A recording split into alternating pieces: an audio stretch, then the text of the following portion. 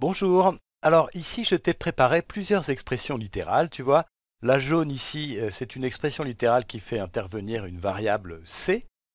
Et puis, euh, j'en ai deux autres en bleu ici. Et le but de cette vidéo, c'est de voir euh, il y a une de ces deux expressions-là qui est égale à la première, à celle qui est en jaune. Alors peut-être qu'il n'y en a pas du tout, peut-être que les deux expressions sont différentes de la première, peut-être qu'elles sont toutes les deux égales à la première. Ça, c'est à toi de voir. Alors, mets la vidéo sur pause, essaye de faire ça de ton côté et on se retrouve.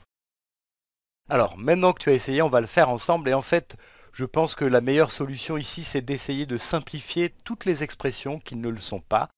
Donc, je vais commencer par celle-là. Clairement, elle n'est pas du tout euh, simplifiée. Hein. On, peut faire pas mal de choses pour l'écrire un peu plus simplement. Et ce que je peux faire, c'est commencer par euh, m'occuper de cette parenthèse qui est multipliée par 2. Donc je vais distribuer le 2 ici aux, deux termes. Donc j'ai d'abord 2 fois moins 6c. 2 fois moins 6, ça fait moins 12, multiplié par c, donc j'ai moins 12c. 2 fois moins 6 fois c. 2 fois moins 6, ça fait moins 12, multiplié par c. Ensuite, je vais avoir plus, et je vais euh, distribuer le 2 au facteur, au terme 3 qui est là. Donc 2 fois 3, ça fait 6. Voilà, ça c'est ce, développement qui est là. Et puis effectivement, il ne faut pas que j'oublie les 4 C qui sont là.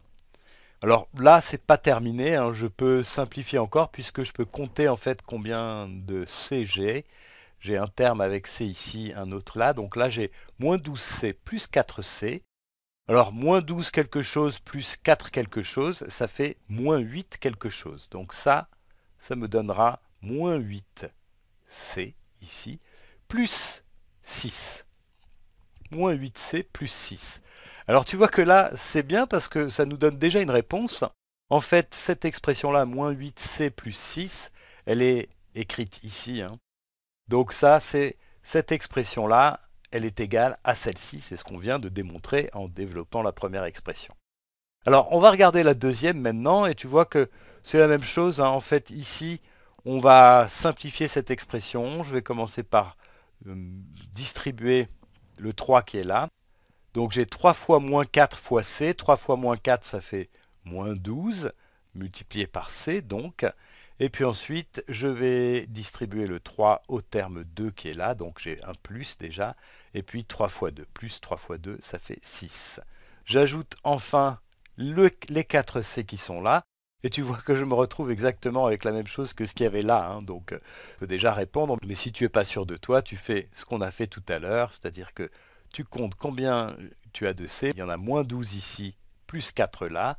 Moins 12 plus 4, ça fait moins 8. Et donc, on a bien ici moins 8C plus 6. Et tu vois qu'on retrouve encore cette expression-là, qui est égale à celle-là. Donc finalement, les deux expressions qui étaient proposées, ces deux-là, sont toutes les deux égales à l'expression qui était écrite en jaune. Allez, on fait un deuxième exercice de ce genre-là. On va faire ça, donc mets la vidéo sur pause, essaye de le faire en utilisant ce qu'on a fait tout à l'heure, et puis on se retrouve.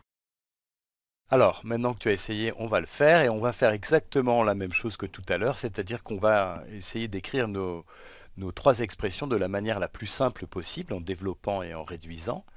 Donc la première chose ici, pour celle-là, alors j'ai moins 6n, ça je peux rien faire, donc je vais l'écrire comme ça. Ensuite, plus moins 12, en fait ça c'est moins 12. Et puis plus 4n. Alors maintenant, comme tout à l'heure, je peux compter combien j'ai de n. J'en ai moins 6 ici, plus 4 là. Moins 6 plus 4, ça fait moins 2. Donc ça, c'est égal à moins 2n, moins 12. Moins 2n, moins 12. Alors là, c'est pas comme tout à l'heure puisque je n'obtiens pas une expression qui est exactement égale à une des autres expressions qui sont là. Et ça, c'est parce que tu vois, les expressions que je te propose ici, elles ne sont pas simplifiées non plus. Donc je vais simplifier celle-ci maintenant. Alors je vais développer ce terme-là. Donc j'ai déjà 4 fois n. 4 fois n, c'est 4n. Et puis il y a ce moins, donc moins 4 fois 3. 4 fois 3, ça fait 12. Donc 4n moins 12. Et puis moins 6n, puisque j'ai ça à rajouter bien sûr. Alors, Maintenant, j'ai 4n moins 12 moins 6n. Je peux compter les n. Donc j'en ai 4 là, moins 6 là. 4 moins 6, ça fait moins 2, exactement comme tout à l'heure. Donc j'ai moins 2n moins 12. Moins 2n moins 12. Et tu vois qu'on retrouve exactement cette expression-là.